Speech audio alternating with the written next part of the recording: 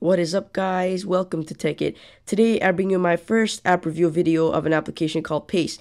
Now just before I get into the actual review, I want to thank the developers over at Paste for sending me a free copy of this application.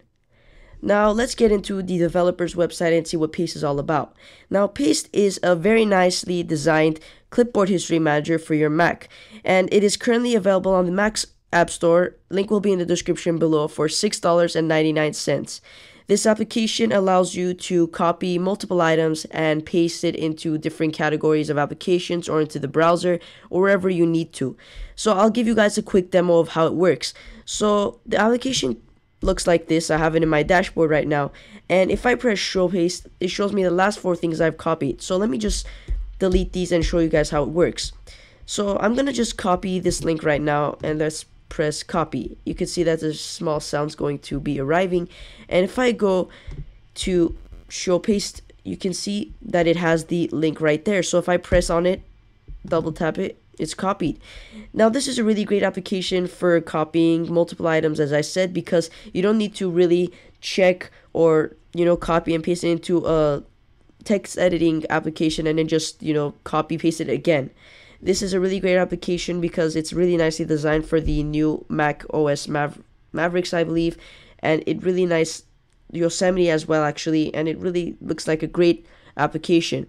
So let me just press view in the Mac Store and show you guys the description, and let me just might as well when that you know opens up, I'm gonna show you guys another demo. So copy, I just press show paste, and see you can see. So you can also delete it and if I go into the preferences of this application, you have a few options. So let me just go in there.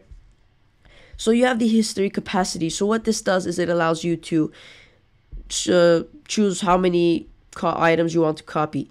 You can have unlimited, which it can, you know, take up your disk space and you can choose 500 150 and 10 i currently chose it at 50 and you can have enable sound effects. I just turned that off right now. And you have you know shortcuts things you can do those fancy stuff. Now if i go into the app store you can see it's really nice. You can copy paste it. And i think this is an application that you must have for the you know mac because it's really nice it's a really nice productive application and i really appreciate it that developers were able to send me a free copy of this application so anyways, hopefully you guys enjoyed it. If you like this app, the link will be in the description below if you want to go ahead and download it.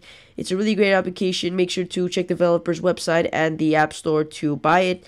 And uh, more app reviews are to come, more videos to come. Quick tips, app reviews. This is my first video.